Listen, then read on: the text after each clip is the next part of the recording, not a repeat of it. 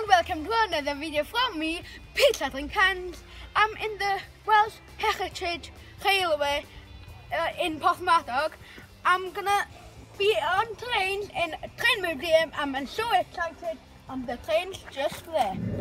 All aboard!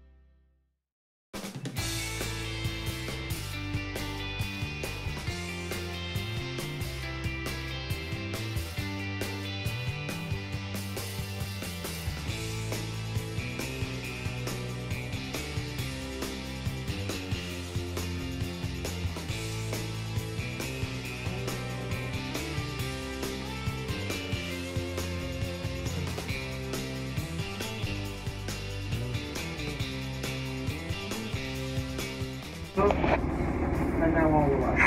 Excellent. That was really good braking.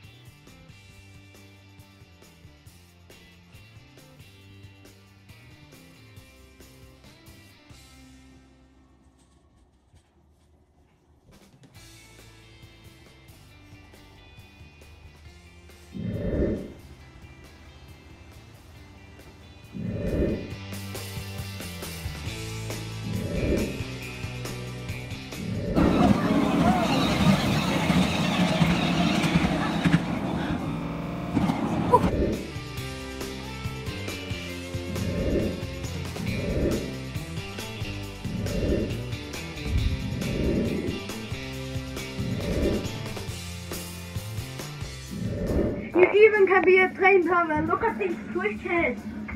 It's kind of fast, then. Yeah, that's okay. Um,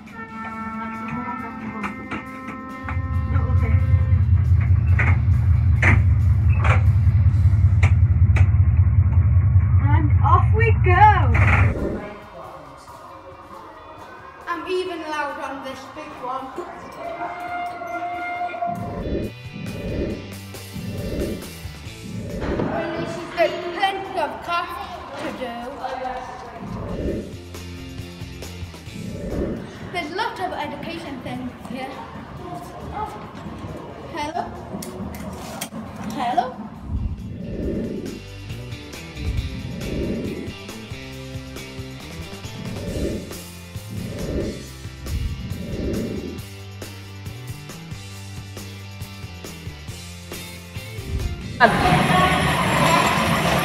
迎看这个，泉州。